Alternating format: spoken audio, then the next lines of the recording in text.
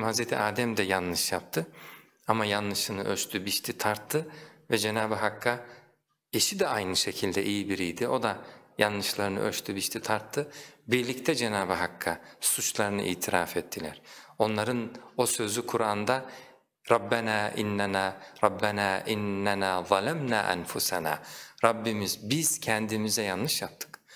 Biz kendimize yazık ettik. Sen bize bir yanlış yapmadın. Eğer bizi affetmez ve innem tagfir lena ve terhamna lenekunenne minel khasirin. Biz de ziyan edenlerden oluruz. Benzerini Hz. Musa aleyhisselam yaşadı. Şehre girdiğinde وَدَخَلَ الْمَد۪ينَةَ عَلَى حِينِ غَفْلَةٍ مِنْ اَهْلِيَا İnsanların uykuda olduğu bir vakit. O coğrafyada öğlen vakti, ikindi suları, böyle hayatın çekildiği, herkesin uyumaya yüz tuttuğu bir vakit. Arada tek tük insanların olduğu. فَوَجَدَ ف۪يهَا رَجُلَيْنِ يَقْتَتِلًا İki adam gördü. هَذَا مِنْ شِيَعَتِهِ Bu kendi şiasından, şia ne demek? Yani kendi tarafından, kendi milletinden. وَهَذَا مِنْ عَدُوِ Bu da karşı taraftan, Kıptilerden. فَاسْتَغَاثَهُ الَّذ۪ي مِنْ شِيَعَتِهِ Yahudi olan yani Hz. Musa aleyhisselamın soydaşı olduğu kişi diğerine karşı, Kıpti'ye karşı Hz. Musa'dan destek istedi, yardım istedi. Hz. Musa aleyhisselam da iş doğru mu yanlış mı, kim haklı kim haksız incelemeden değil mi ki bu kendi tarafından ona destek olup فَوَكَزَهُ Musa Kıpti'ye bir tane vurdu şöyle, bir ittiri verdi onu, yumruk attı diyelim. فَوَكَزَهُ Musa ama فَقَضَى عَلَيْهِ Bu yumruk ile kişi geri geri giderken düştü, öyle فَقَضَى عَلَيْهِ öldü. Cenab-ı Hak bize yani Hz. Musa onu فَوَكَزَ diyor sadece. Onu vurdu böyle ona. Dolayısıyla ama neticede öldü o kişi.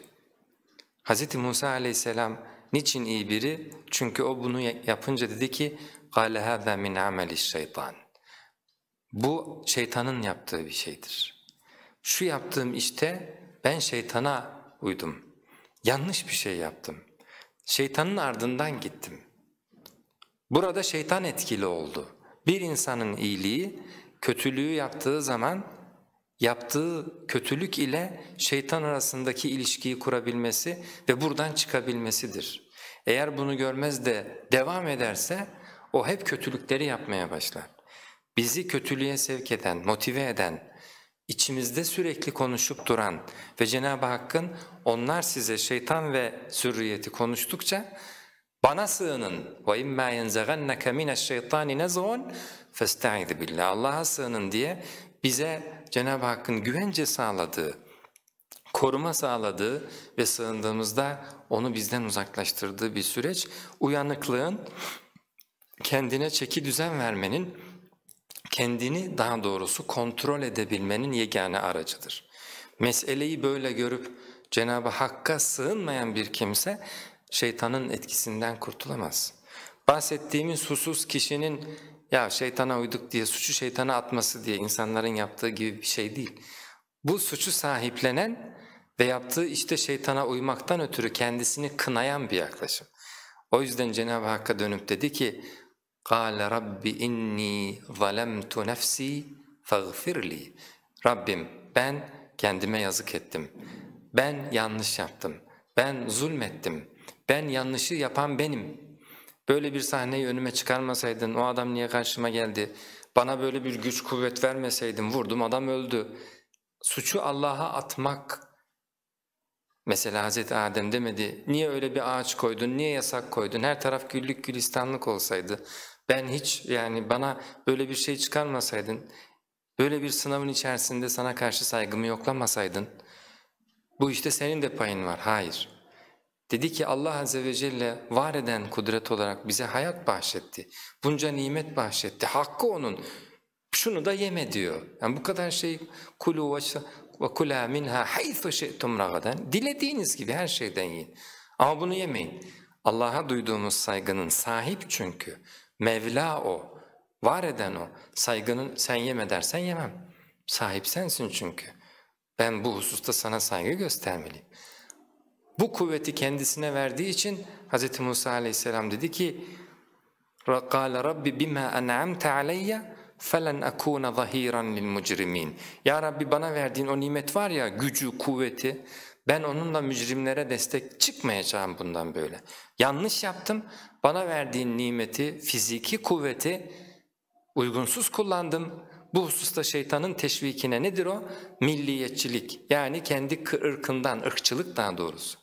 İnsanın milliyetini sevmesi, ondaki iyi hasletleri çoğaltmaya çalışması gibi güzel bir duygudan bahsetmiyoruz. Milliyetini üstün görmesi, diğer milletleri aşağılayıp küçümsemesi, buna ırkçılık diyoruz. Böyle bir yaklaşım ile haklı haksız ayırt etmeden, değil mi ki bizden yaptığı kötü şeyi bile tolere eden yani e, olsun yanlış da olsa bizimki haklı yahut haksız da olsa önemli olan hak vesaire değil. Bizim taraftan olması. Böyle bir davranış ile gücünü, fiziki kuvvetini e, yersiz kullandığı için dedi ki ya Rabbi قَالَ رَبِّ بِمَا أَنْعَمْتَ عَلَيَّ bana verdiğin nimetten ötürü felen akuna zahiran lil mucrimin. Ben mücrimlere destek çıkmayacağım. Benzer bir sahne Hazreti Peygamber sallallahu aleyhi ve sellem zamanında yaşandığında müminler kendilerinden olan kimsenin haklı çıkması için onu kayırmak istediler. Ve Hazreti Peygamber sallallahu aleyhi ve sellemi yönlendirmek istediler.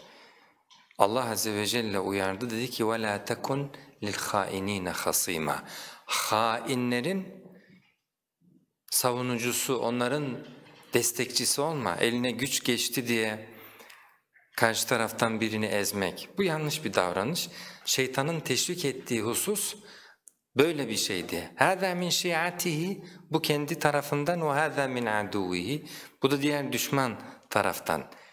Kendi tarafından olana doğrudan koşulsuz destek verdi, hesapsız destek verdi ve böyle bir sonuçla karşılaştı ama durumunu, kendi durumunu gözden geçirdi. Demin söylediğimiz akletmek, iyi insanlar yanlış yapmayan kimseler değil, yanlış yaptıklarında bunu analiz edip inceleyip doğrusuna yönelen kimselerdir.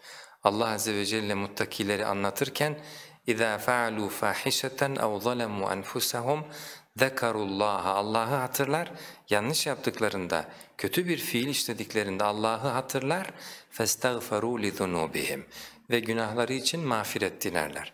Hz. Musa da öyle yaptı. قَالَ رَبِّ اغْفِرْ لِي فَغَفَرَ لَهُ Dedi ki Rabbim beni bağışla, Rabbi de onu bağışladı. Bu kadar. Rabbi gfirli, kâle Rabbi gfirli fegafara lehu. Dedi ki Rabbim beni bağışla, fegafara lehu. Allah da onu bağışladı.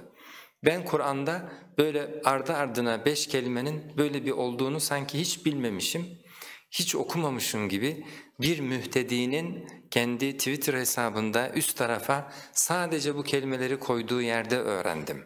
Dedi ki Rabbim beni bağışla, fegafara lehu. O da onu bağışladı. Bu kadar kestirmeden kul yeter ki doğru adım atsın, durumunu doğru okuyup yanlışını ikrar ederek suçunu görüp ıslah olmak istesin.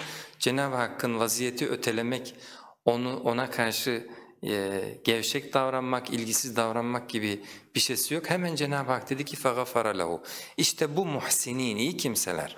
Allah Azze ve Celle Hz. Musa'nın bize iyiliğini de ama insanlığını da anlattı. İnsan yanlış da yapabilir ama yaptığı yanlışı düzelten, ihsan sahibi, iyi kimseler.